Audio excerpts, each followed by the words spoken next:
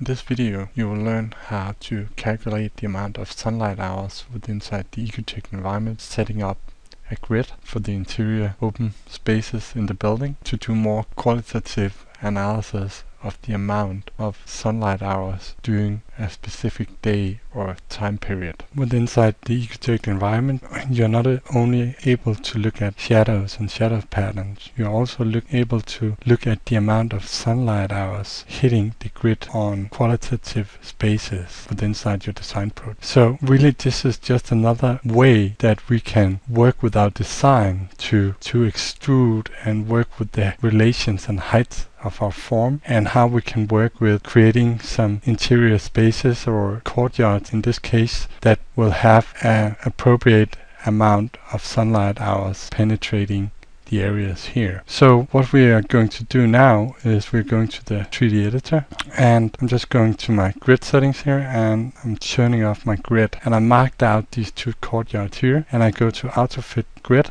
within selected objects, the XY axis, and I'm just choosing a boundary insert of 500 to don't have any pollution for my um, average values because of the grid penetrating the rooms or stuff like that. And I'm choosing a specific cell size here at, let's say, 900. Okay, like that. So now that I set up my grid, I can also do this as a 3D grid if I want to. I'm ready to look at how many sunlight hours will hit the individual node nodes of this analysis grid. And really, if you press here, you'll see that all of these connections within inside the grid is really measuring points. And right now they're set to zero.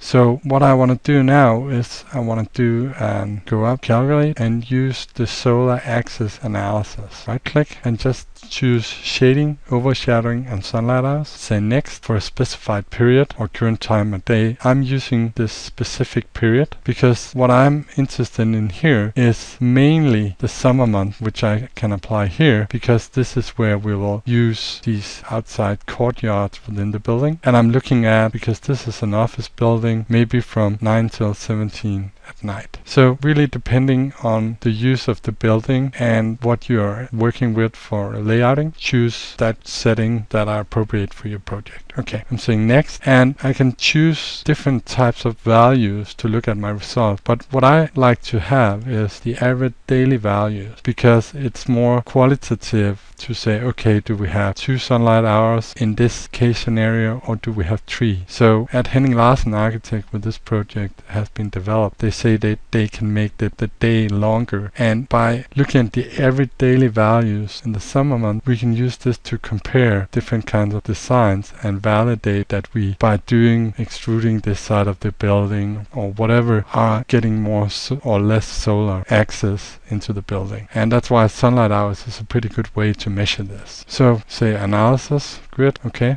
and just say next and then perform calculation. I'm not going to do this uh, because it takes a bit of time, but what I did is that in here I saved out the analysis grid as a GRD file that I can just load in again. And now I'm able to visualize my results here. And depending on if I'm in the 3D or in the visualize tab, there's different ways that I can simulate my grid. I can say show grid lines or turn them off and say show contour lines. And really a great way as well to control this is that you can really use this here, the data and scale. Now we're looking at the sunlight hours, actually also calculating how exposed the different areas are, how much they're shaded, quite the opposite, how much direct light penetrating, how much diffuse light. So let's keep the sunlight hours and let's say, okay, let's say when we want to have between two and five sunlight hours like this. And then we can actually use this as an identifier to, to get insight on which areas are have less than two sunlight hours, etc. And again, we can also visualize this with inside uh, the 3D editor and we can set up camera views, allows us to visualize it a bit more effectively.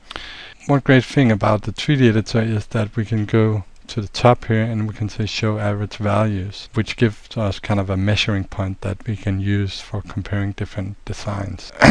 Another thing that we can do is that we can we can of course turn on the grid nodes to look at the actual values and we are also able to export the data and put them into an Excel sheet to do comparison of different design chains. So we do that by just going to grid management and manage grid data and say sunlight out and just say analyze data. Now you get this really nice little report with the different nodes within the different intervals that we specified up here in, in, the, in the, our settings here. So this is really cool that we can take this out to Excel and we can measure it. Thank you.